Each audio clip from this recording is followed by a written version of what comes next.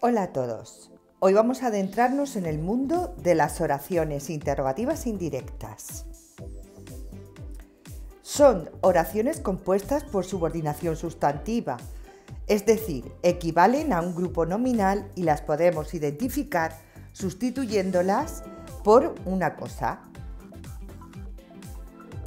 Formulan una pregunta sin entonación interrogativa y por medio de una oración compuesta que tiene que llevar un verbo principal de lengua pensamiento más un neso interrogativo más otro verbo en forma personal o un infinitivo.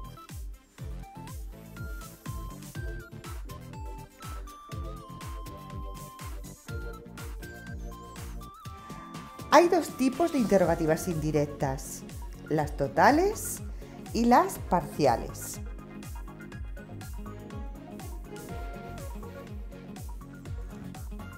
Las totales llevan como nexo la conjunción interrogativa sí, que no tiene función sintáctica y se limita a unir. Se preguntan o por la totalidad del enunciado o exponen una elección.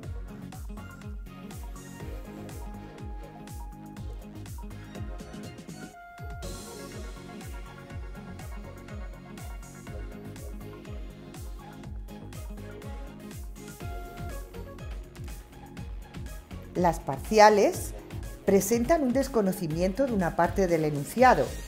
Sus nexos son los determinantes, pronombres y adverbios interrogativos, que pueden estar precedidos o no por una preposición. Estos interrogativos forman parte de la oración subordinada y desempeñan en ella una función sintáctica, que es la de la parte desconocida del enunciado.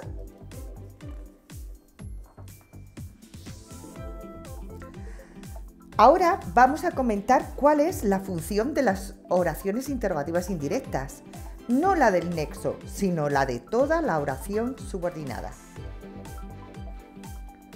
Sus funciones son sujeto, complemento directo y término de preposición. Aquí es sujeto, puesto que determina el número del verbo de la principal. Esto es, la subordinada concuerda con el verbo da, sin embargo, esta subordinada es de complemento directo porque no establece el número de averiguaré. En este caso, D es enlace su término es la interrogativa indirecta.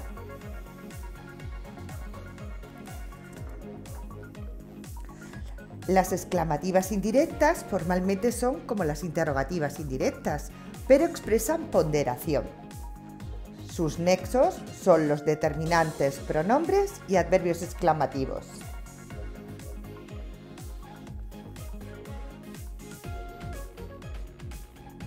En definitiva, las subordinadas sustantivas no solo son declarativas, sino que también están las interrogativas y exclamativas indirectas.